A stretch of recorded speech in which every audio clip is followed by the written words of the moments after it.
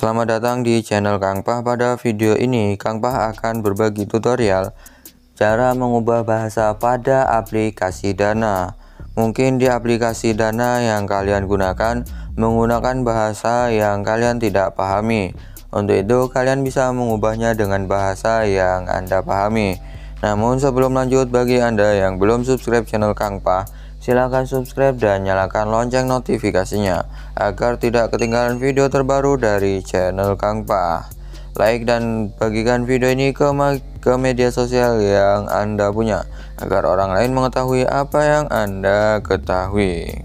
Oke, langsung saja ke tutorialnya.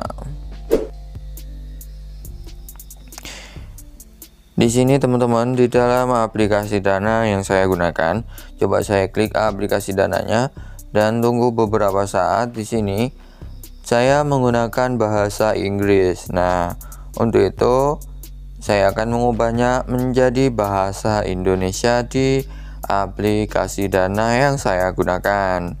Dan ini bahasanya bahasa Inggris ya, teman-teman. Coba kita buka uh, profil dan di sini menggunakan bahasa Inggris. Dan perlu kalian ketahui untuk mengubah bahasa pada aplikasi Dana Kalian tidak bisa mengubahnya pada aplikasi Dana tersebut.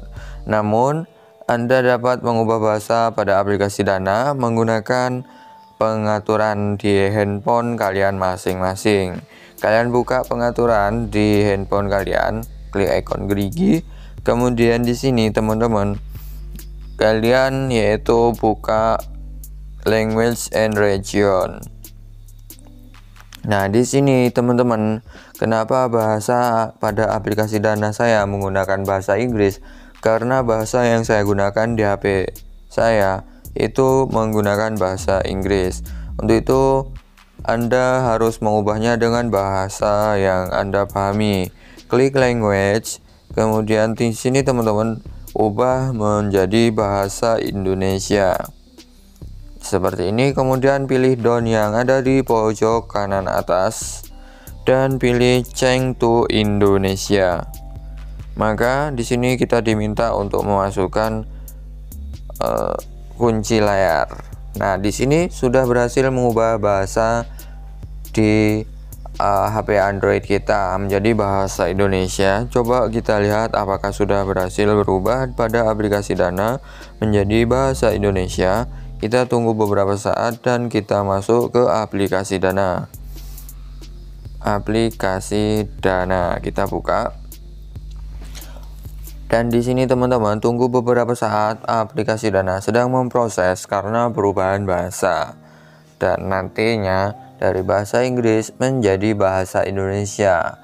Dan kalian bisa memahami aplikasi Dana untuk melakukan transaksi. Tunggu beberapa saat ya teman-teman. Ini sudah muncul bahwa yang paling atas ini sudah menggunakan bahasa Indonesia. Coba kita buka ke profil dan di sini juga sudah menggunakan bahasa Indonesia yaitu saldo dan goals dan sebagainya sudah menggunakan bahasa Indonesia. Oke, itulah tutorialnya cara mengubah bahasa pada aplikasi Dana yang kalian tidak bisa mengubahnya pada aplikasi Dana kecuali kalian mengubahnya pada pengaturan handphone kalian karena pengaturan bahasa di aplikasi Dana itu menyesuaikan pada handphone yang kalian gunakan. Oke, semoga bermanfaat dan terima kasih sudah menonton. Jangan lupa tinggalkan komentar.